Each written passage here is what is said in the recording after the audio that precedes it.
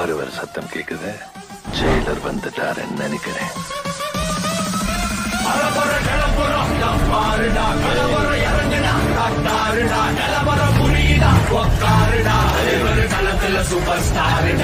நல்லா ஒத்துப்பாரு.